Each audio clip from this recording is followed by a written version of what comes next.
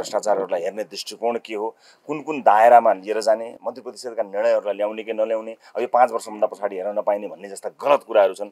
ती कुराहरूलाई कसरी हटाउने? विविध आयामबाट विभिन्न अनुभव अ, हरूलाई सँगालेर यसमा निकै काम गर्नुपर्ने अवस्था देखिएको छ। ग्लोबल ब्याङ्क सबैका लागि ब्याङ्क पाँच वर्ष हटाउनुपर्छ पाँच कुनै पनि बेला भ्रष्टाचार गरेको छ भने जहिले पनि समातिन्छ भन्ने कुराको डर हुनुपर्छ त्यो त्यस्तो किसिमको व्यवस्था हुनुपर्छ भन्ने कुरामा सच्याउ हाम्रो मत यो छ सायद धेरै साथीहरूको यसमा सहमत हुनुहुन्छ भन्ने मलाई लाग्छ।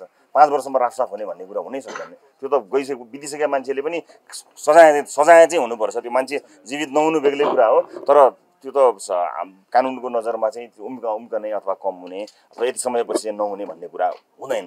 मुद्दा चलेर मुद्दा फैसला भइसकेपछिका कुराहरू बेग्लै अँ, त्यसको त आफ्नै ठाउँहरू छ नि त त्यहाँ ह- हदम्याद लागेको हुन्छ। कानुनले नै हदम्याद तोकेको हुन्छ नि त कुन चाहिँ तहको अदालतमा कहिलेसम्म पुग्ने भन्ने कुरा। त्यहाँ त व्यवस्था छँदै छैन। तर यति वर्षपछि चाहिँ त्यो सबै हु- पुरै नउठ्ने भन्ने कुरा चाहिँ गलत हो भन्ने हाम्रो राय छ साथीहरू यसमा। सहमत हुनुहुन्छ होला। कसैलाई देखाउने कुरा छैन। मैले जे गरेँ आफ्नो कार्यकालमा मैले गर्नुपर्ने एउटा गृहमन्त्रीका रूपमा गर्नुपर्ने प्रक्रियाहरूमा जे जस्तो गरेँ त्यो एकदम स्पष्ट रूपमा त्यहीँ छ। मन्त्रालयमै छ। त्यो मसँग जाँदैन। मन्त्रालयमै रहन्छ। सरकार भनेको निरन्तरता हो।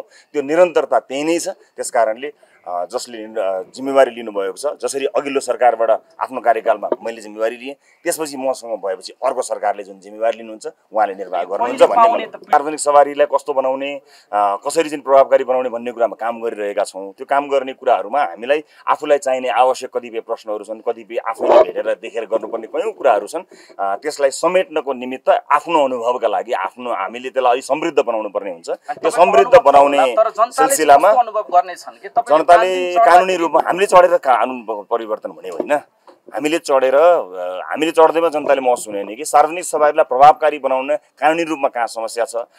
त्यसलाई कसरी समाधान गर्न सकिन्छ? कसरी त्यसलाई नागरिक मैत्री बनाउन सकिन्छ? कसरी त्यसलाई समयमा आउने बनाउन सकिन्छ? कसरी त्यसलाई प्रविधि मैत्री बनाउन सकिन्छ? यी सम यावत कुराहरूलाई मध्यनजर राख्दै हामीले आफ्नो तर्फबाट बुझ्नुपर्ने कुराहरू बुझ्नका लागि हामीले आफैले केही प्रयास गरेका हौँ।